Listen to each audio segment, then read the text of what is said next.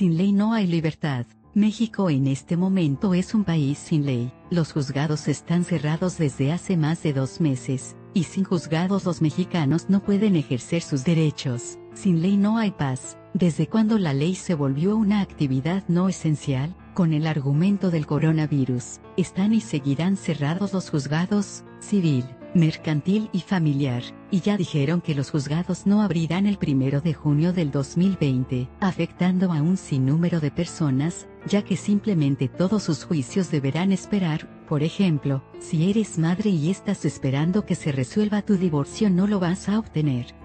Carmen, es víctima de violencia intrafamiliar, el juez no puede ayudarle, no puede protegerla de su agresor, con el argumento de que no hay juzgados que procesen su caso, el juez no puede alejar al agresor, a pesar de que exista una demanda.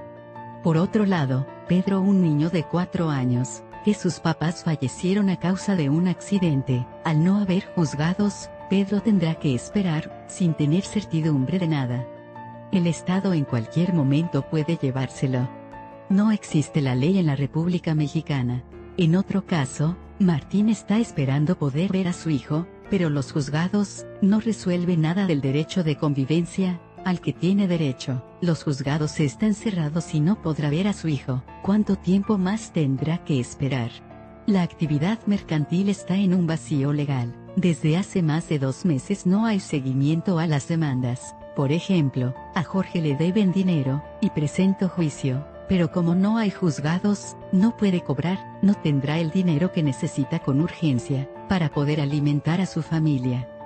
Murió Rosa, y sus familiares no pueden llevar a cabo su última voluntad, por no poder ejercer el juicio testamentario. La incertidumbre jurídica que existe, mantiene en estado de indefensión a las personas. Este vacío legal, permite que quienes detentan el poder, conviertan a las autoridades en maquinarias que atacan a la población de manera impune, y la gente no pueda defenderse. El principio de la justicia, es que debe ser pronta y expedita, hoy está suspendida. En la página oficial del Poder Judicial, se informa cómo están operando los juzgados, sin embargo, en la práctica no se están atendiendo las demandas, ya presentadas, ya que sí se están recibiendo juicios, pero no hay un seguimiento y mucho menos una resolución. Esto está violando la propia constitución política de los Estados Unidos mexicanos, en la que se consagra el principio de seguridad jurídica, que impone que éste, contenga los elementos mínimos para hacer valer el derecho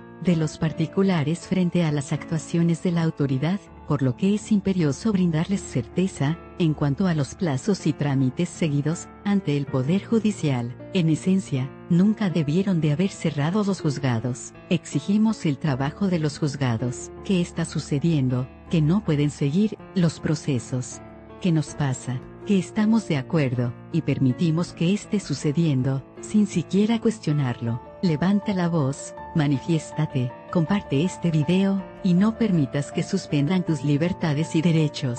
Queremos justicia, y para ello, se necesitan los juzgados. Desde cuando la ley, se volvió una actividad no esencial, no hay justicia, y el gobierno lo permite. ¿Por qué? Contéstate esta pregunta, mañana la puedes necesitar tú.